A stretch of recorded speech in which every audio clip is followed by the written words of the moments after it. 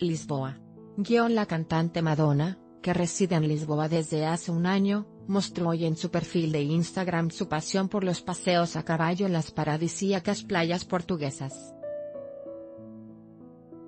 La reina del pop subió un vídeo de un paseo a caballo, presumiblemente junto a sus hijos, por la Reserva Natural del Río Sado, al sur de Lisboa, que cuenta con una playa de unos 60 kilómetros, en la que se incluye la conocida localidad de Comporta y que está catalogada como una de las más largas de Europa.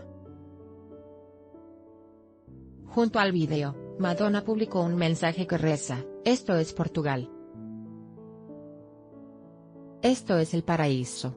Las playas de Comporta pertenecen a la comarca de Alcácer do Sal, a cerca de 100 kilómetros al sur de Lisboa. Hace unas semanas, algunos medios portugueses difundieron la información de que la cantante había adquirido dos caballos de raza lusitana por un precio de alrededor de 200.000 euros.